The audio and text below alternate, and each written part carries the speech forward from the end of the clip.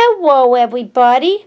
I'm Baby Brush, and I'm just like my dad, Patricio Paintbrush. Oh, look at my son, isn't he cute?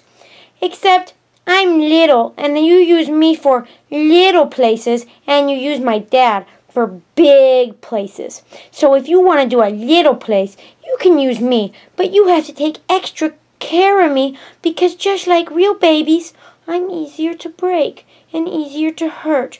So you gotta be really, really nice to me. And you're gonna use me just like my dad.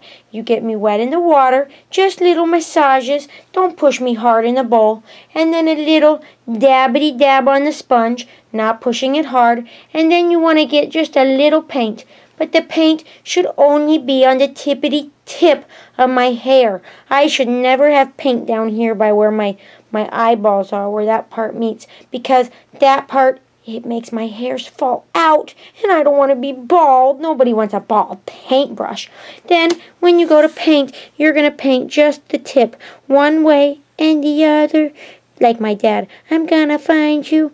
I'm gonna get you, get you, get you. And see, I can make nice clean lines with my baby brush because it makes nice shapes. And when I start to get these lines where I can see that my paint is no longer enough, that's when I gotta go get more paint, just like my dad, and paint again. And I can make a nice clean edge by painting carefully and then painting in the middle of my nice clean edge.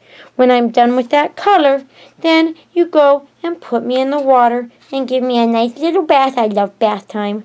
And then bring me over to the sponge, dab me off, and get a new color. See, it's so easy. And even though I love my uncle, Senor Sloppy Brush, I don't want to be like him when I grow up.